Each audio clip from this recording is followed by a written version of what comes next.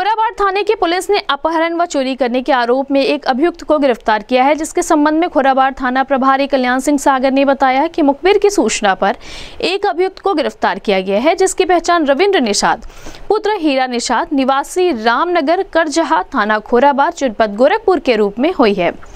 जिसके पास से अपहृता को बरामद किया गया है। खुराबाड़ थाना प्रभारी ने बताया कि चौदह नवंबर की रात्रि को वादनी मुकदमा की पुत्री को अभियुक्त रविंद्र द्वारा बहला फुसलाकर व घर में बक्से का ताला तोड़कर पैसा व जेवरात के साथ भगा ले जाना व परिवार वालों से पूछने पर गाली गुप्ता व जान माल की धमकी व जाति सूचक शब्दों का प्रयोग करने के संबंध में खोराबाड़ थाने में अभियोग पंजीकृत हुआ। जिसको गिरफ़्तार कर जेल भेज दिया गया। गिरफ़्तार करने वाली पुलिस टीम में खोराबाड़ थाना प्रभारी कल्याण सिंह सागर उप निरीक्षक सुशील कुमार, कांस्टेबल दिनेश कुमार, सुरेंद्र यादव, महिला कांस्टेबल सुषमा उपाध्याय शामिल रहीं।